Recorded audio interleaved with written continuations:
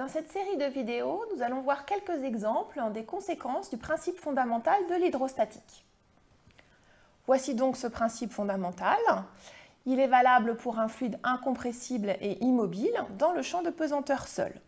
Et il s'écrit tout simplement P plus ρ z égale constante.